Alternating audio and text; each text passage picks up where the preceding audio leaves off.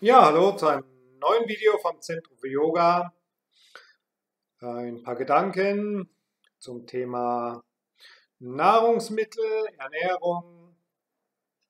Es gibt ja, weiß nicht, sagen wir 428.579 Ernährungsformen.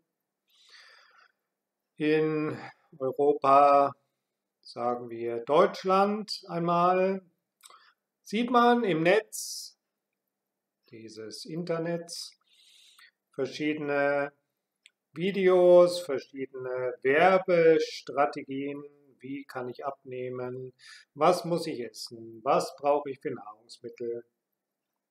Man kauft Bücher über Ernährung, Diäten. Ich habe das als Kampfsportler früher alles gemacht, habe mich damit sehr intensiv beschäftigt und es hat immer was gefehlt. Die meisten, die sich mit Ernährung beschäftigen, auch im Sport, kümmern sich um Vitamine, Mineralstoffe, Fette, Kohlenhydrate, Eiweiße, äh, Spurenelemente, was es alles da noch gibt. Und wie viele Menschen, so ist es auch im Yoga, wie viele Menschen beschäftigen sich mit der Energetik der Nahrung? Die Nahrungsmittel haben nicht nur einen physischen Nährwert und Nährstoffgehalt, sondern auch ein seelisch-geistiges Potenzial. Man isst, was man isst. In der chinesischen Medizin werden die Nahrungsmittel auch in die fünf Elemente eingeteilt. Holz, Wasser, Feuer, Metall und Erde. Und auch in die sogenannten pathogenen Faktoren Wind, Kälte, Hitze, Nässe, Trockenheit, Sommerhitze gehört noch dazu. Und was passiert, wenn ich zum Beispiel viel Fleisch esse, rotes Fleisch, rot wäre in der chinesischen Medizin Hitze, dann werde ich zu hitzig, zu aggressiv, zu feurig. Wenn ich zu scharf esse, Chili kann gut sein, wer weiß, aber wenn ich zu viel davon esse, zu viel Kaffee trinke, dann verbrennt diese Hitze meinen Magen. Dann kriege ich eine Magenschleimhautentzündung. Ja, da soll man auch dran denken. Fleisch, sagen viele, oh, hat Eiweiß, hat dies, hat das, hat Fette, bla bla bla. Fleisch ist ein Stück Lebenskraft, scheint heutzutage auch noch so zu gelten. Sonst gäbe es keine Wurstbuden mehr. Aber in der chinesischen Medizin wäre es Hitze. Dann wird man zu feurig. Man weiß auch in der Wissenschaft, dass rotes Fleisch, Fleisch überhaupt, entzündungsfördernd ist. Rheuma zum Beispiel. In der chinesischen Medizin wäre Fleisch hitzig, rotes Fleisch und in Yoga-Philosophie wäre es etwas anders. Das sagt man Tamas, träge machend.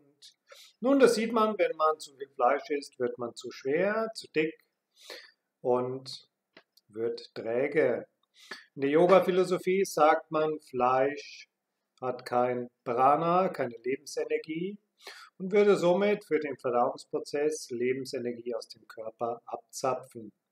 Nun sieht man bei vielen Fleischessern, die viel Fleisch essen, auch abgepacktes, günstiges Fleisch, billiges Fleisch, die werden träge. Nicht nur körperlich, weil sie zu viel Gewicht haben, sondern vor allen Dingen auch seelisch, geistig, dumpf und träge. Thema Bewusstsein. Somit haben Nahrungsmittel auch eine Seelenqualität. Nicht nur die Nährstoffe isst man bei einem Apfel, sondern auch das Sonnenlicht und andere energetische Eigenschaften, die dieser Apfel hat. Nun, und was passiert, wenn man zu viel gezüchtetes, hochgezüchtetes isst? Da ist nicht viel Seelenkraft dahinter. Und trotz allem beschäftigen sich die ganzen Ernährungsformen so viel oft nur mit den körperlichen, physischen Eigenschaften der Nahrung, nicht mit der Seelenqualität. Viele Dinge sind in einer Medizinrichtung äh, hitzig, manche sind träge machend, aber es ist nicht die goldene Mitte, die in der Seelenqualität oft erreicht wird. Menschen, die zu hitzig sind, die zu unruhig sind, trinken vielleicht viel Kaffee, essen viel Fast Food und das kann dann auf Dauer gar nicht gut sein. Ja, Energy Drinks. Das ist, hat nicht nur einen Nährstoffgehalt an Dingen, die da draufstehen, sondern eben auch einen beschleunigenden Effekt, diese Energy Drinks. Deswegen trinkt man sie auch. Aber es macht den Geist auf Dauer unruhig. Es ist nicht, ich habe das jetzt abgebaut im Körper und dann ist es gut. Nein, diese Menschen werden auch von der seelischen Ebene unruhiger werden. Hitze in der chinesischen Medizin zerstört Struktur, zu viel Kaffee zerstört die Magenschleimhaut zum Beispiel, aber auch die Struktur des Lebens. Wenn das Leben zu schnell dreht, weil man zu hitzige Sachen, zu viel Kaffee, zu viel Red Bull trinkt und so weiter, zu scharf ist, dann verbrennt es sozusagen die Struktur des Lebens. Es muss schnell gehen, zack hierhin, schnell dahin, schnell dies, schnell das und man verliert irgendwann, das weiß man oft am Ende des Tages, was habe ich heute gemacht. Man verliert die Struktur des Lebens. Viele Menschen hüpfen dahin, noch schnell dies, noch schnell das und das und das und das. Oder man macht etwas, Handy, dies, da hört man was, da ans Telefon, da dies, da Computer, da blablabla. Und man hat keine Struktur. Und wie in einem anderen Video schon gesagt, Nahrung ist auch ein Heilmittel, das A und das O. Könnt ihr euch mal anschauen auf meinem YouTube-Kanal hat es vielerlei Bedeutungen. Und nicht nur Nährstoffe, und dann muss ich abnehmen, dann esse ich dies und das beschleunigt den Stoffwechsel. Ja, alles gut. Aber man sieht, die Menschen werden nicht gesünder, die Menschen werden nicht ruhiger, die Menschen werden nicht fröhlicher, weil sie eben keine so guten Dinge essen. Trotz dieses ganzen Wissens an Ernährungsformen, Wissenschaften und dies und das und Ayurveda-Ernährung chinesische Ernährung nach fünf Elemente, nach zehn Elemente, nach 38 Elementen. Ja, viele Sachen, aber es wird oft diese seelische Qualität vernachlässigt. Und hier könnte man wieder ein bisschen aufbauen, hingucken, hinschauen, mitmachen, spüren, was macht diese Nahrung mit mir. Viele sagen mir, wenn ich sage, was ich im Yoga esse, da isst man dies nicht, jenes nicht, welches nicht, oh, dann fehlen dir dies, dann fehlt dir das, dann hast du kein Omega-3, kein Omega-48, dann fehlt dir etwas, was isst du denn dann? Ja, ich habe immer gesagt, dann sage ich dann immer noch, werde ich auch in Zukunft sagen, die Yogis sind die, die am meisten lachen, die am meisten strahlen, die am meisten gut drauf sind.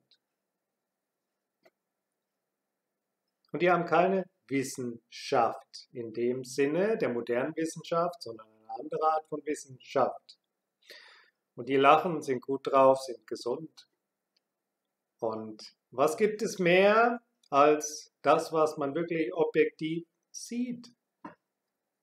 Und die Menschen auch im Yoga sind nicht gesund, nicht immer, sind vor allen Dingen auch nicht immer psychisch stabil.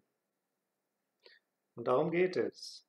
Genauso, psychisch stabil, dann brauche ich erdende Nahrung, in die Mitte bringende Nahrung. Im Yoga nennt man das Sattva. Sattwige Nahrung, reine, klare, natürliche, gesunde, aus Sicht des Yoga gesunde Nahrung. Ja, kann man mal sehen auf dem Vergleich so zu Sportlern, sagen wir Profisportler, die sich ja super gesund ernähren, super Köche haben, bestimmt, super Trainer haben, aber die Fußballer zum Beispiel sind mit 35 schon uralt.